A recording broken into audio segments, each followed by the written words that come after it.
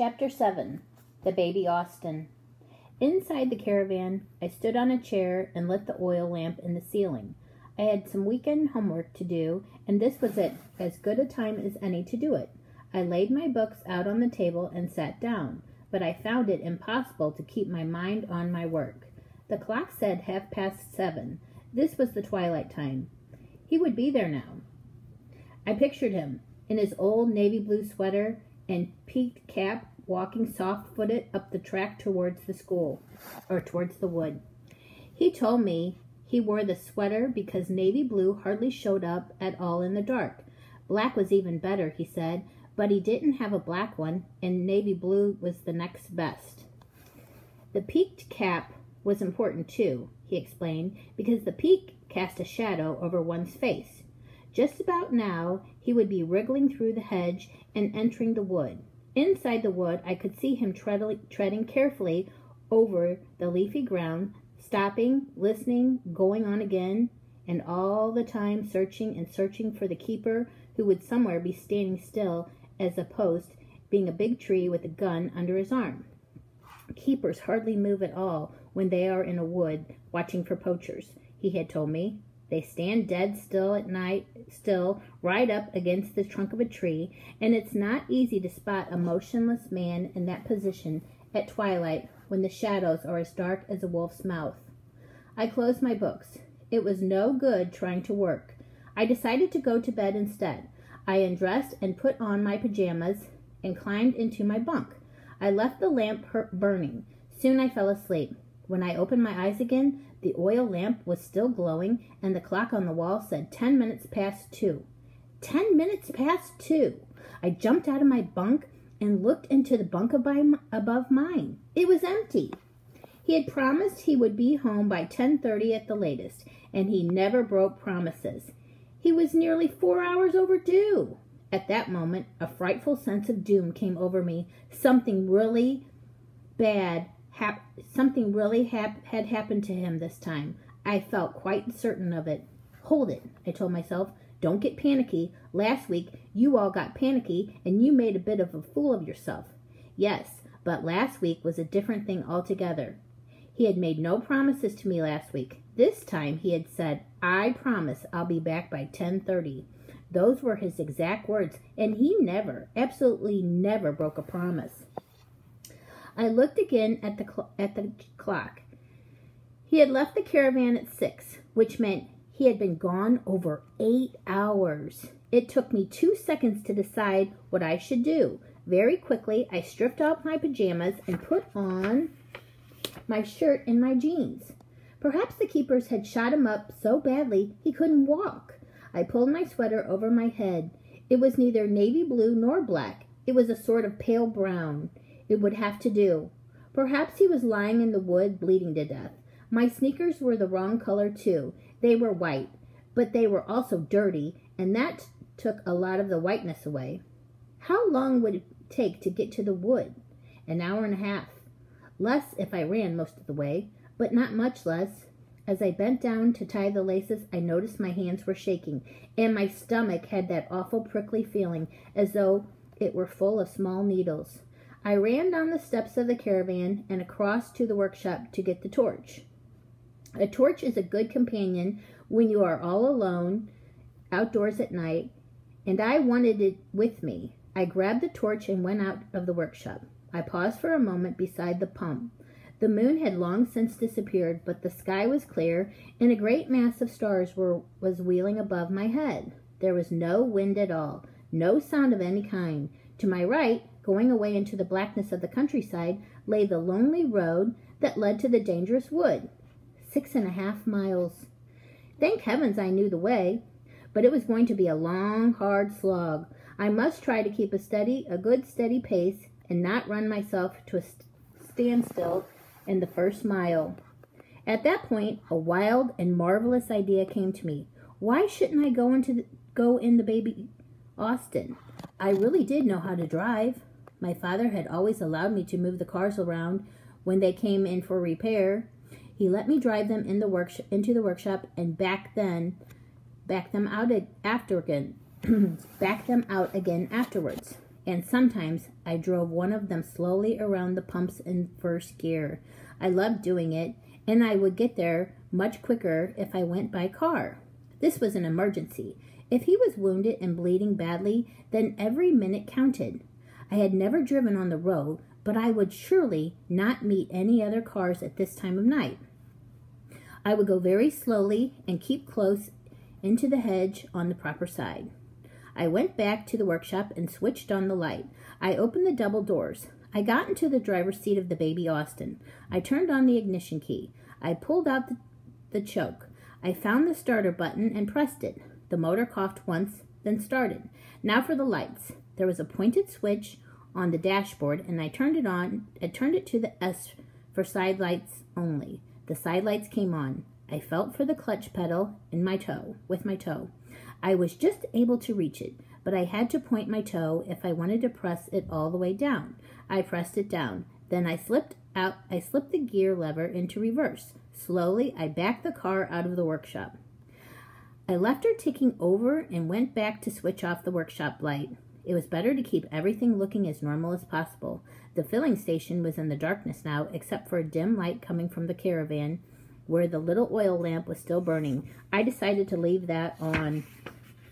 I got back into the car and I closed the door. The side lights were so dim I hardly knew they were there. I switched on the headlamps. That was better. I searched for the dipper with my foot. I found it. I tried it and it worked. I put the headlamps on full. If I met another car, I must remember to dip them although actually they weren't bright enough to dazzle a cockroach. They didn't give any more light than a couple of good torches. I pressed down the clutch pedal again and pushed the gear lever into first. This was it. My heart was thumping away so fiercely I could hear it in my throat. Ten yards away lay the main road. It was as dark as doomsday. I released the clutch very slowly. At the same time, I pressed down just a fraction of an inch on the accelerator with my right toe and stealthily Oh, most wonderfully, the little car began to lean forward and steal into motion. I pressed a shade harder on the accelerator. We crept out of the filling station onto the dark, deserted road. I will not pretend I wasn't petrified. I was, but mixed in with it, the awful fear was a glorious feeling of excitement. Most of the really exciting things we do in our lives scare us to death. They wouldn't be exciting if they didn't. I sat very stiff and upright in my seat, gripping the steering wheel tight with both hands. My eyes were about level with the top of the steering wheel. I could have done it. I couldn't have done with a cushion to raise me up higher, but it was too late for that. The road seemed awfully narrow in the dark. I knew there was room enough for two cars to pass each other. I had seen them from the filling station doing it a million times, but it didn't look that way to me from where I was. At any moment, something with blazing headlights might come roaring towards me at 60 miles an hour a heavy lorry or one of those big long distance buses that travel through the night full of passengers. Was I too much in the middle of the road? Yes, I was, but I didn't want to pull in closer for fear of hitting the bank. If I hit the bank and bust the front axle, then all would be lost and I would never get my father home. The motor was beginning to rattle and shake. I was still in first gear. It was vital to change up into second, otherwise the engine would get too hot, would get hot too would get too hot. I knew how the change was done, but I had never actually tried doing it. Around the filling station, I had always stayed in first gear. Well, here goes. I eased my foot off the accelerator. I pressed the clutch down and held it there. I found the gear lever and pulled it back, straight back from first into second. I released the clutch and pressed on the accelerator. The little car leaped forward as though it had been stung. We were in second gear. What speed were we going? I glanced at the speedometer. It was lit up very faintly, but I was able to read it. It said 15 miles an hour. Good. That was quite fast enough. I would stay in second gear. I started figuring out how long it would take me to do six miles traveling at 15 miles an hour. At 60 miles an hour, 6 miles would take 6 minutes. At 30 mi- at 30 it would take twice as long, 12 minutes. At 15 it would take twice as long again, 24 minutes. I kept going. I knew every bit of the road, every curve, and every little rise and dip. Once a fox flashed out of the hedge in front of me and ran across the road with his long bushy tail streaming out behind him. I saw him clearly in the glow of my headlamps. His fur was red brown and he had a white muzzle.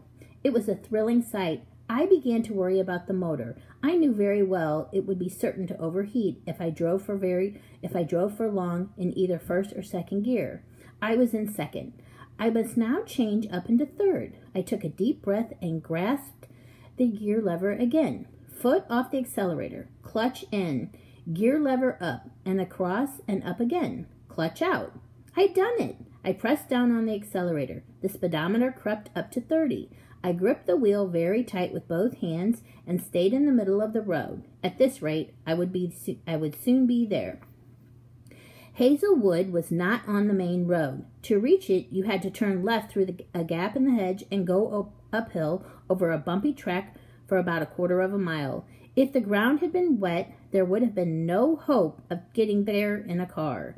But there hadn't been any rain for a week, and the ground would surely be hard and dry. I figured I must be get, getting pretty close to turning place now. I must watch out for it carefully. It would be easy to miss to miss it. There was no gate or anything else to indicate where it was. It was simply a small gap in the hedge, just wide enough to allow farm tractors to go through. Suddenly, far ahead of me, just below the rim of the night sky, I saw a splash of yellow light. I watched it trembling. There was something I had been dreading all along. Very quickly, the light got brighter and brighter and nearer and nearer, and in a few seconds it took shape and became the long white beam of headlamps from a car rushing towards me. My turning place must be very close now. I was desperate to reach it and swing off the road before the monster reached me. I pressed my foot hard down for one for more speed. The little engine roared. The speedometer needle went from 30 to 35 and then to 40, but the other car was closing fast. Its headlight headlamps were like two dazzling white eyes. They grew bigger and bigger, and suddenly the whole road in front of me was lit up as clear as daylight, and swish! The thing went past me like a bullet. It was so close I felt the wind of it through my open window. And in that tiny fraction of a second, when the two of us were alongside one another, I caught a glimpse of its white painted body and I knew it was the police. I didn't dare look around to see if they were stopping and coming back after me. I was certain they would stop. Any policeman in the world would stop if he suddenly passed a small boy in a tiny car chugging along a lonely road at half past two in the morning. My only thought was to get away to uh, was to get away to to escape, to vanish. Though heaven knows why, knows how I was going to do that. I pressed my foot harder still on the accelerator. Then all at once I saw in my own dim headlamps the tiny gap in the hedge on my left hand side. There wasn't time to brake or slow down, so I just yanked the wheel hard over and prayed. The little car swerved violently off the road, leaped through the gap, hit the rising ground, bounced high in the air, then skidded around sideways behind the hedge and stopped. The first thing I did was to switch off all my lights.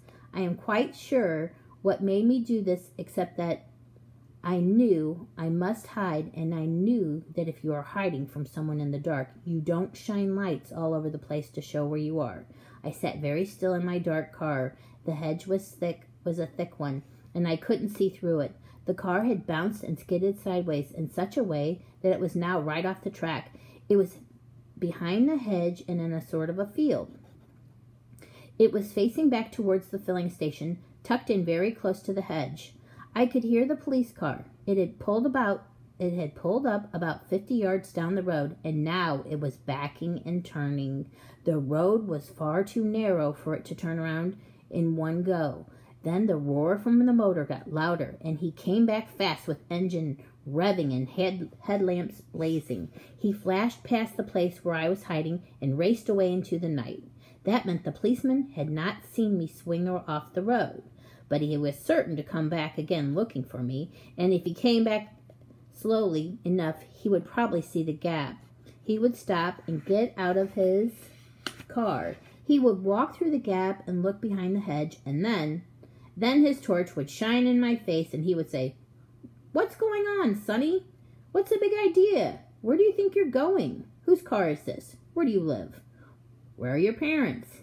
He would make me go with him to the police station, and in the end, they would get the whole story out of me, and my father would be ruined. I sat quiet as a mouse and waited. I waited for a long time. Then I heard the sound of, a, of the motor coming back again in my direction. It was making a terrible noise. He was going flat out. He whizzed past me like a rocket. The way he was gunning that motor told me he was a very angry man. He must have been a very puzzled man, too. Perhaps he was thinking he had seen a ghost, a ghost boy driving a ghost car. I waited to see if he, if he would come back again. He didn't come. I switched on my lights. I pressed the starter. She started at once. But what about the wheels and the chassis? I felt sure something must have got broken when she jumped off the road onto the cart track. I put her into gear and very gently began to ease forward. I listened carefully for horrid noises. There were none. I managed to get her off the grass and back onto the track. I do- drove very slowly now. The track was extremely rough and rutted, and the rope was pretty steep. The little car bounced and bumped all over the place, but she kept going. Then at last, ahead of me and over to the right, looking like some gigantic black creature crouching on the crest of the hill, I saw Hazell Wood. Hazell's Wood. Soon I was there. Immense trees rose up towards the sky all along the right hand side of the track. I stopped the car. I switched off the motor and the lights. I got out, taking the torch with me. There was the usual hedge dividing the wood from the track. I squeezed my way through it, and suddenly it was right inside the wood. When I looked up, the trees had closed in above my head like a prison roof, and I couldn't see the smallest patch of sky or a single star. I couldn't see anything at all. The darkness was so solid around me, I could almost touch it. Dad! I called out. Dad! Are you there? My small voice echoed through the forest and faded away. I listened for an answer, but none came.